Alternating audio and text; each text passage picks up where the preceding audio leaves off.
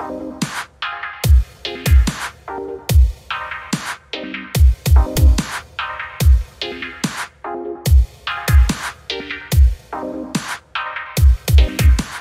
um, my name is Alexander Holland from Bareface Productions. I'm the writer and director of Everything is Fines.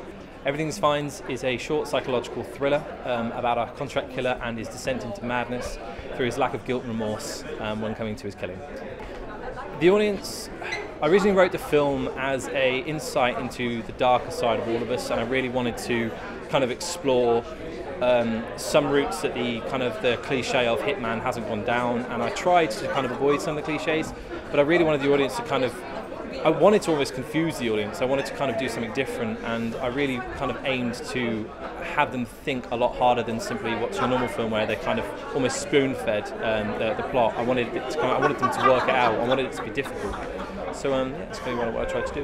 My name is James Goring. I was producer for Chrononaut. And uh, I'm Josh Kelly, and uh, I was the writer and director for Chrononaut. Chrononaut is basically a, a, short film, runs around 16 minutes at the moment, and uh, it deals with uh, time travel, and it's quite a dark sort of look into into uh, time travel ideas, basically, and time travel theory.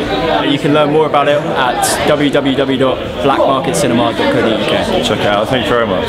Thanks. I'm Galen and I'm the director. Hi, my name's Dean Atkinson. I'm the producer. I'm Sean Maitland. I'm the editor. And we made the film Instability. Instability is a true story about a friend of mine who became mentally unstable, and it's an unconventional film based on an experimental process.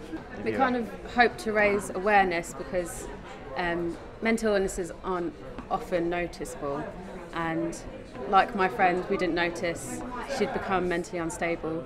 So we just want to raise that awareness so people are more aware about it. Okay. Hi, my name's uh, Amrit Bachir. I'm the director of The Lifetime Promise. Hi, I'm Madeline Flores Solizano. I was the producer on the film. Um, a love twist of it related to like Romeo and Juliet, where the wife has been diagnosed with a terrible disease known as Montenegrin disease. Um, because the film is basically based right on love and how difficult it is to cope we felt that we should concentrate more on the husband's reaction rather than wives as we don't know whether the question is whether love is enough for you to be there for the person when they're going through such a difficult time. I'm Sunil Singh and I'm the director of Convolution. And I'm Govinda Singh and I'm the director of photography for Convolution. Okay, our film's about a two, well, a relationship between two people who go travelling in Scotland, and uh, they get lost in the forest, and they find something that they don't know, not sure if it's alive or body, and then uh, it all ends up in a cabin. Now, uh, this is where the relationship splits up as the girl leaves and he's left on his own. There's loads of mysterious events happening in his, in his cabin.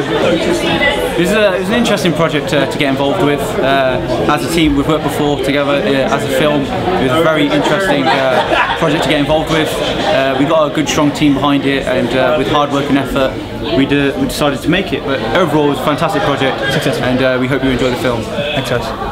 I'm Emma Fielder and I'm the writer and director of Dearly Departed. It's a short film about a um, young man who's experiencing severe emotional trauma and his uh, best friend is a, well, this guy. And um, it's about how he tries to overcome his depression and make a new life for himself.